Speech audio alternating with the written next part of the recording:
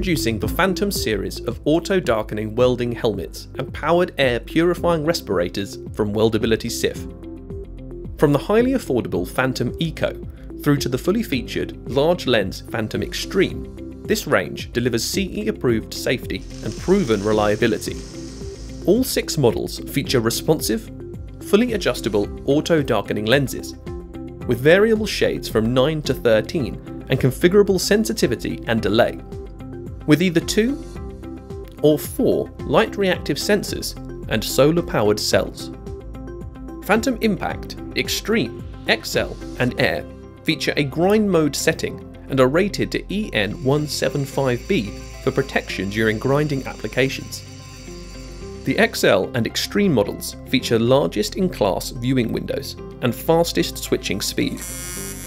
The Phantom Air PAPR system includes a belt-worn, two-speed air purifying motor unit with two-step filtration to TH2P grade protection.